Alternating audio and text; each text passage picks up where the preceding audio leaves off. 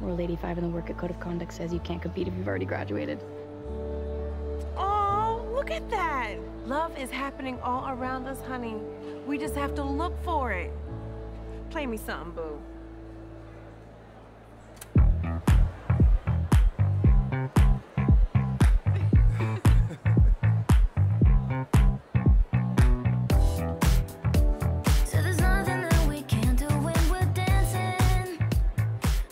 In the end, Einstein was right.